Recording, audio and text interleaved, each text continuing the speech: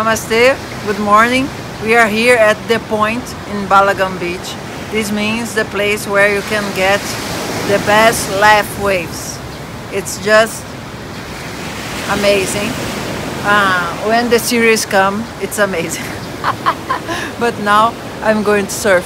And here, uh, it's a place where you almost will only surf while the tide is high because the reef it's dangerous.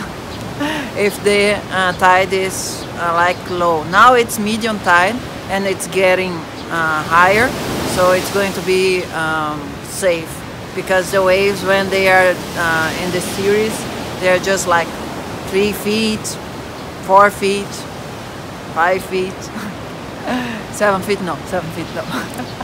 So this is a good place for you to surf if you like very quick uh, left waves because they are oh they're coming.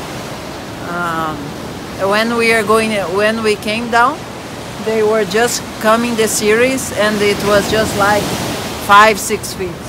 This one now it's around uh, three feet not so big.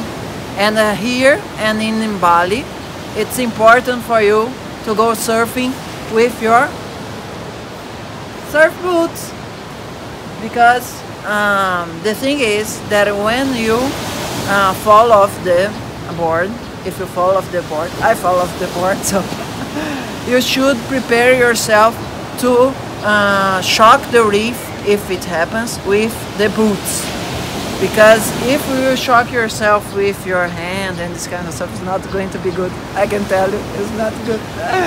Uh, and with the boots, even if the boots shock the reef, uh, the contact can um, just make your feet say a little noise, but um, they're not going to be scratching the skin.